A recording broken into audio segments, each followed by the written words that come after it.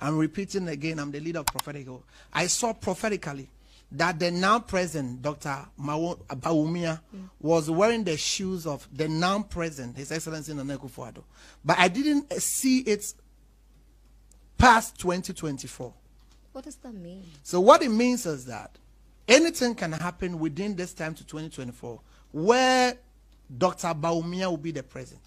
But I was clear in the spirit. The Lord carried me. Well, the president travels and he's here. He becomes. No, uh, I'm not speaking academically. I'm not speaking with the wisdom of men. Okay. I'm speaking spiritual. Okay. And I've seen that more than four or five times. And you don't expect it to travel beyond. No, I, it's not me not expecting it. I didn't see it going beyond. going beyond 2024. In other words, if he if he contests on the ticket of the NPP in 2024, he will lose. No, this is just the clear vision I saw. Okay. And it's loaded. Like I said, from my past experience, I'm being circumspect.